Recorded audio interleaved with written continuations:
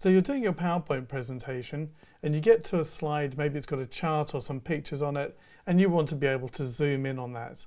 Well, you can do that if you're using the Windows version of PowerPoint. This doesn't work on the Mac. So let's find a slide here. Here we go, here's one. Here's a picture over here. What if I want to zoom in on that? Well, in the bottom left hand side here, if I move my mouse down, you can see it's got these icons here and one of them is a magnifying glass. When I click on it, I can then click on the bit that I want. You'll see that the mouse has now become a hand, so you can move around in your slide. So you can move up here as well.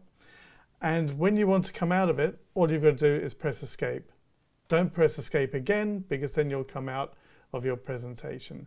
So once again, in the bottom left-hand corner here, when you move the mouse down, you'll see you've got this magnifying glass. All you've got to do is click on it, click where you want to go, and you can then move it around, press escape to come out.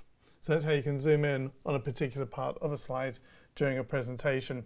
Can also be useful to do that, sort of increases the engagement with your audience. In other words, keeps them a bit alert during a PowerPoint presentation.